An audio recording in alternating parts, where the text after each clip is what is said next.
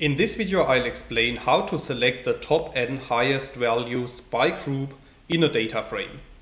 So without too much talk, let's get into it. So in this video I will show you three examples and all of these examples are based on the data frame that we can create with lines 2 and 3 of the code.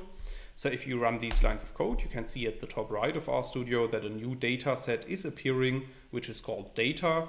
And we can print this data frame to the bottom in the RStudio console by running line 4 of the code.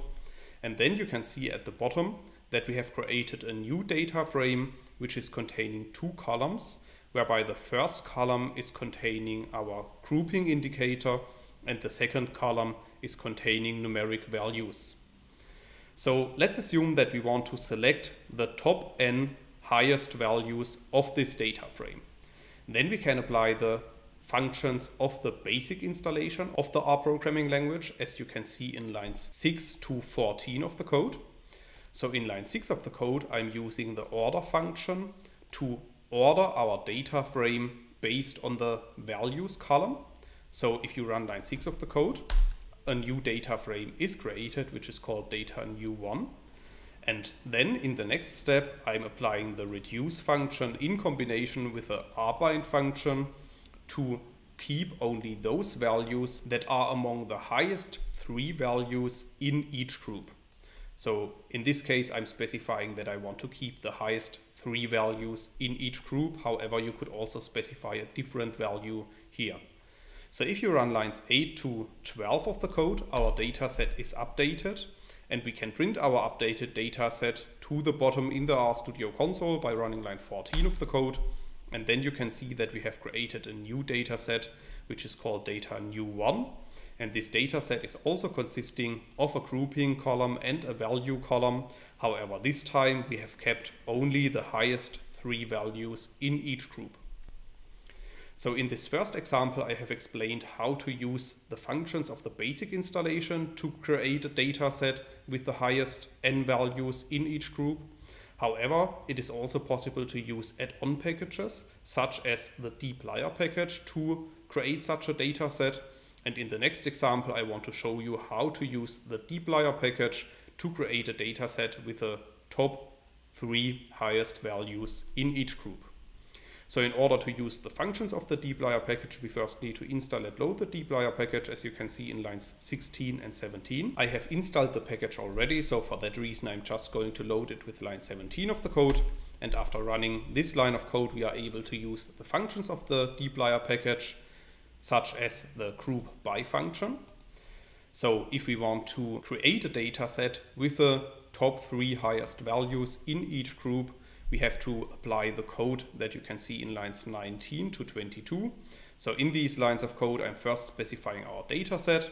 Then I'm using the arrange and the desc functions to arrange our data based on the values column. Then I'm using the group by column to group our data based on the group column.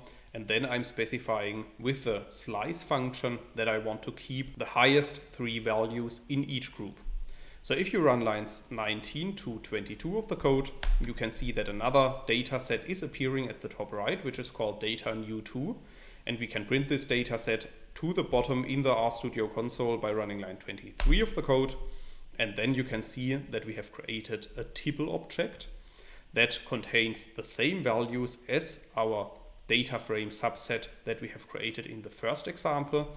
However, this time we have used the functions of the dplyr package and we have returned a tibble instead of a data frame. So another package that I want to show you is the data table package and the data table package can also be used to extract the rows with the highest values in a certain column by group. And in order to install and load the data table package, we can use the code that you can see in lines 25 and 26.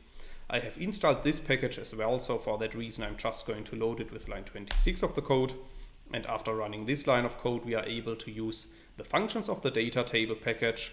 And in case you want to create a subset of a data frame that is containing only the top three highest values in each group, you can apply the code that you can see in lines 28 to 30.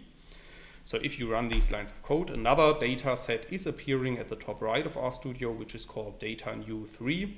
and we can print this data set to the RStudio console by running line 31 of the code. And then you can see that we have returned another data set with exactly the same values as in the previous two examples. However, you can also see that this is a data table instead of a tibble or instead of a data frame. So depending on if you prefer to work with a basic installation of the R programming language with a dplyr package or with a data table package, you might prefer example 1, 2 or 3.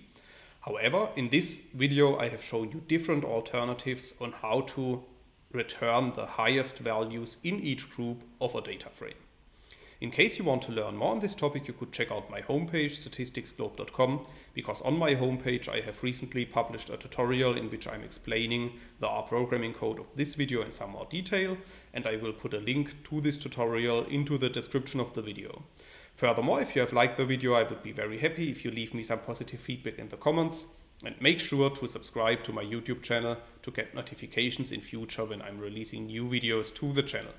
That's it for this video. Thanks a lot. See you next time.